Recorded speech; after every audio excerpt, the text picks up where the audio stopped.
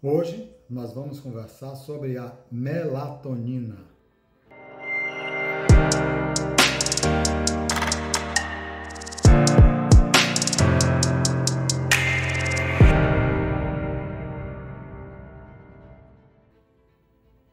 Provavelmente você já ouviu falar sobre a melatonina, não deve ser nenhum, nenhuma novidade para você.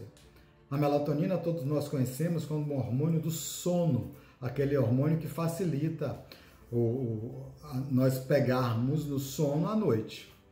Mas eu gostaria de dizer a vocês que a melatonina não é só isso.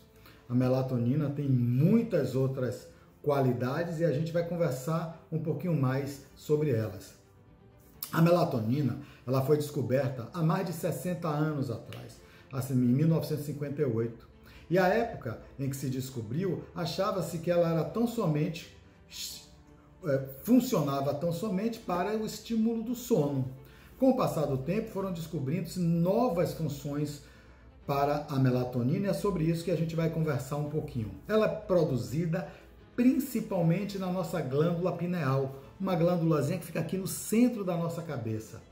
Ela é produzida pela pineal estímulo, e o estímulo da sua produção é feito pelo quiasma óptico, que é uma estrutura neurológica que, livra, que liga nossos olhos até o centro do cérebro. Isso porque sabe-se também que ela é responsável pelo ciclo circadiano, aquele, é, é, ela que diz ao nosso corpo quando é dia e quando é noite, e a partir daí tem suas funções é, a pineal, quando é, percebe-se, quando percebe através do núcleo quiasmático, quando é dia e quando é noite, e quando é noite há então estímulo à produção da melatonina.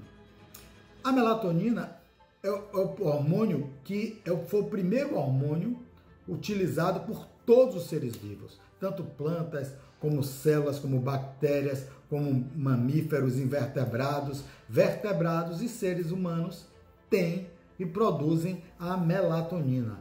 É um hormônio extremamente importante e sua função principal e inicial era como um antioxidante. O que seria o antioxidante? Aquele hormônio que diminui a produção de radicais livres, ele anula a produção dos radicais livres.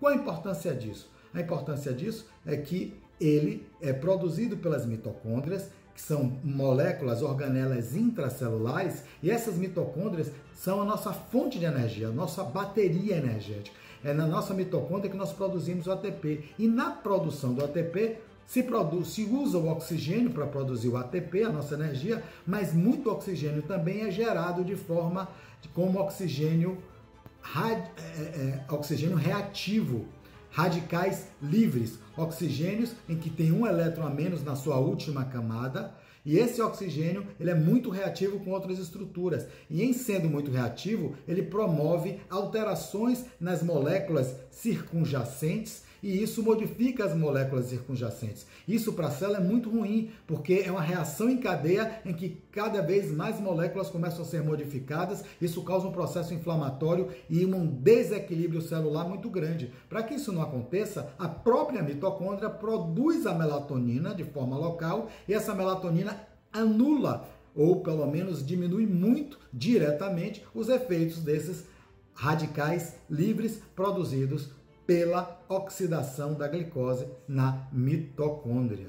E o que acontece além disso? O que, é que ela faz além de induzir o sono e diminuir o estresse oxidativo? Ela estimula outros antioxidantes endógenos também a diminuir o estresse oxidativo. Ela estimula a produção da sódio endógena, superóxido dismutase e da glutationa, que são dois antioxidantes muito importantes que nós temos no corpo. Mas é só isso? Não ela tem muito mais funções. Ela também estimula nossas células neurológicas, estimula a nossa neuroplasticidade, faz, que, faz com que nossas células neurológicas desenvolvam melhor e não morram muito facilmente. É fundamental para o nosso cérebro. Ela estimula a produção do BDNF, que é uma proteína intracelular que estimula a nossa memória, a plasticidade cerebral, a neoformação de células neuronais. Olha a importância dela. Ela faz isso também porque o cérebro é um local onde há muito gasto energético. Então, os radicais livres poderiam inflamar muito o cérebro e causar problemas sérios para a memória, para a cognição. Então, você tem que ter muito antioxidante no cérebro. Daí, a melatonina ter uma função importantíssima no nosso cérebro, inclusive na doença de Alzheimer. Muita gente hoje utiliza a melatonina para tratar doença de Alzheimer, inclusive alguns sintomas sérios que os, os pacientes portadores do Alzheimer têm, como a irritabilidade de final de tarde. Muitos neurologistas usam a melatonina para diminuir essa irritabilidade que eles têm no final de tarde, onde ficam irritadiços, às vezes ansiosos, às vezes querem quebrar as coisas, e a melatonina inibe essa angústia, essa excitabilidade anormal e você consegue controlar melhor os pacientes com Alzheimer. Além disso, ela melhora muito a imunidade. Foi encontrada melatonina em muitas células imunes produção da melatonina em muitas células imunes inatas do nosso organismo, como macrófagos, leucócitos, eosinófilos e linfócitos. A melatonina estimula a nossa imunidade e serve como um agente de proteção imunológica também. Por isso, está sendo utilizada hoje, inclusive, no tratamento para o câncer. Hoje, utiliza-se melatonina em doses um pouquinho mais elevadas para tratar diversos tipos de cânceres. Além disso, a melatonina é usada também porque ela estimula o hormônio do crescimento. E ao estimular o hormônio do crescimento, é um hormônio que faz com que as células se renovem, você consegue melhorar a sua, digamos assim, não é melhorar, mas você consegue ter uma, uma um envelhecimento mais saudável um envelhecimento mais lentificado. Eu não posso dizer que a melatonina seja um anti-age, mas ela age lentificando um pouco a evolução do envelhecimento ou fazendo que seja um envelhecimento muito menos perceptível, com que as células durem mais saudáveis por mais tempo. Além disso, ela também diminui o colesterol e ela regenera os receptores hormonais. Olha que coisa interessante. É, é bom deixar claro que a melatonina age muito mais à noite, porque durante a noite nosso corpo todo diminui o metabolismo e é a hora da regeneração celular, é a hora de aumentar o hormônio do crescimento, que as células sejam regeneradas, é a hora que todas as células das nossas mucosas são regeneradas das agressões diárias, tanto a mucosa oral como a mucosa nasal, a mucosa oftálmica, as mucosas genitais, todas elas são regeneradas à noite pela ação da melatonina. Isso é extremamente importante. Daí a importância do sono, porque nesse momento onde há produção de melatonina, você tem a regeneração celular e isso causado pelo hormônio de crescimento, isso causado pela melatonina per se que age nas nossas células de mucosa.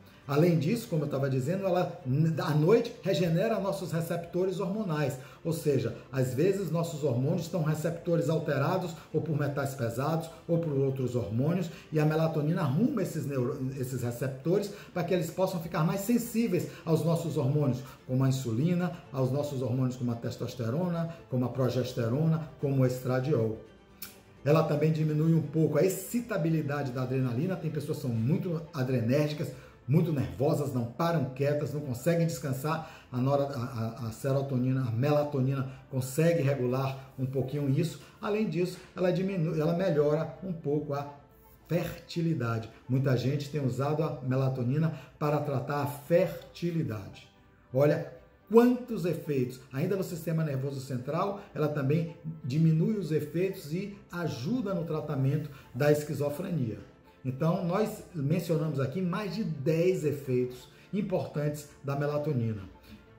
Por, né, fique, fique bem claro que essa importância se dá porque à noite nós temos que descansar, nosso corpo tem que entrar em um metabolismo mais lento e aproveitar durante a noite para fazer todo o reparo celular, o reparo, o reparo de enzimas, o reparo de neurotransmissores, o reparo de receptores hormonais. E isso se faz à noite. Daí a importância do sono e daí a importância de um sono saudável. Para você ter um sono saudável e que possa produzir a melatonina que acontece a partir das 23 horas, é que você deve evitar todos os fatores que inibem a produção da melatonina. Um desses é a luz.